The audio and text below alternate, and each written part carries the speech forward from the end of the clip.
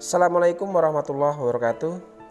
Uh, sampai kita pada pembuatan laporan keuangan yaitu laporan laba rugi pada perusahaan salon cantik ya. Di mana uh, untuk laporan laba rugi sendiri adalah laporan yang akan kita gunakan untuk mencari berapa nilai laba yang diperoleh uh, oleh perusahaan salon cantik seperti itu.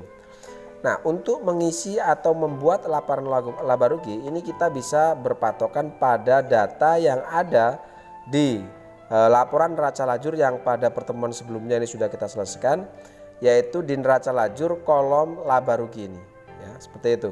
Jadi kolom laba rugi yang ada di neraca lajur ini adalah data-data yang kita gunakan untuk membuat laporan laba rugi di sini. Ya, seperti itu.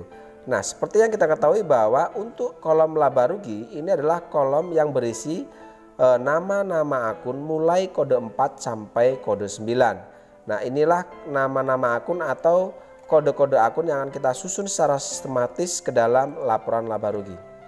Oke, yang pertama ini sudah saya susun di sini saya bentuk di sini ada revenue artinya ini untuk menampung adanya pendapatan, kemudian ada operating expense itu untuk memasukkan atau menginput akun-akun beban operasional.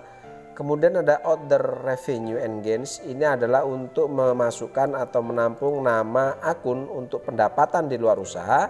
Dan yang terakhir adalah order expense and loss. Ini artinya adalah e, bahwa ini adalah untuk menyusun kategori nama-nama akun e, untuk beban di luar usaha. Seperti itu. Oke, kita mulai saja di sini. Yang pertama adalah kita akan coba input atau masukkan pendapatan atau revenue ini. Nah, untuk pendapatan ini kita ambil datanya yaitu dari kode 4 ya. Jadi revenue itu kita ambil dari kode 4. Untuk kode 4 di sini nama akunnya adalah fish income ya. Jadi kode 4 itu hanya ada satu akun yaitu akun fish income di mana fish income ini adalah pendapatan operasional atau pendapatan jasa seperti itu. Oke, lalu kita coba masukkan di sini untuk nama fish income-nya.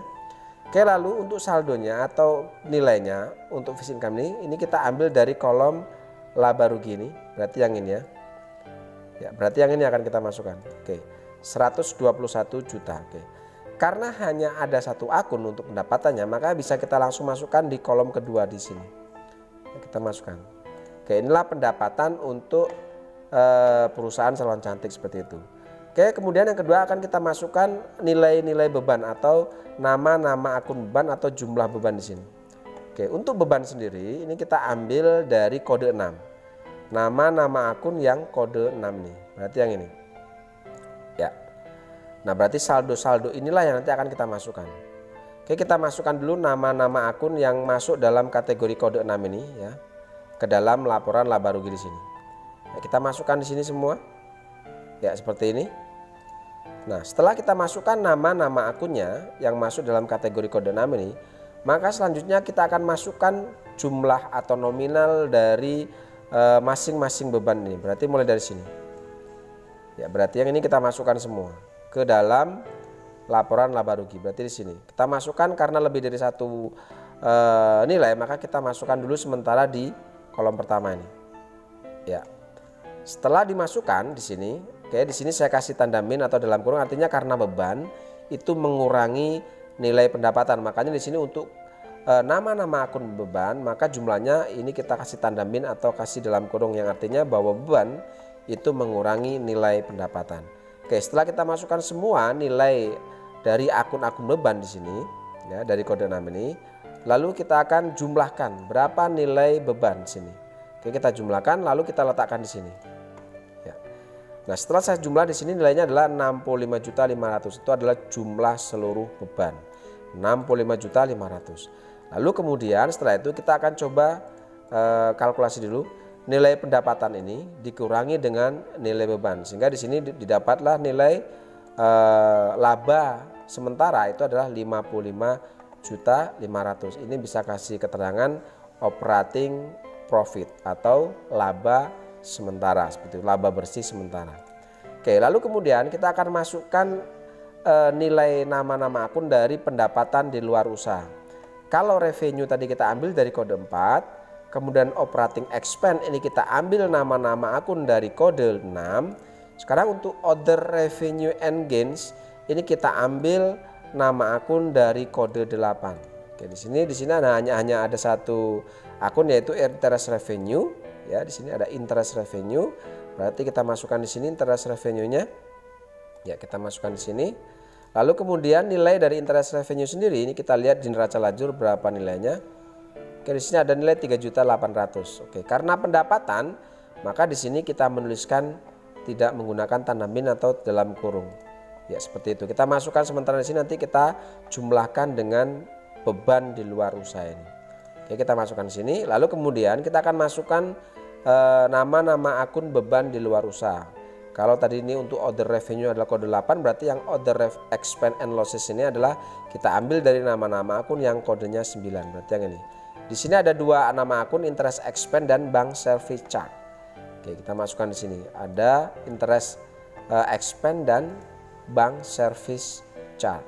Oke, lalu kemudian kita akan ambil nilainya di sini. Oke, di sini ada nilai 2 juta dan 600 ya. Ini adalah yang ini.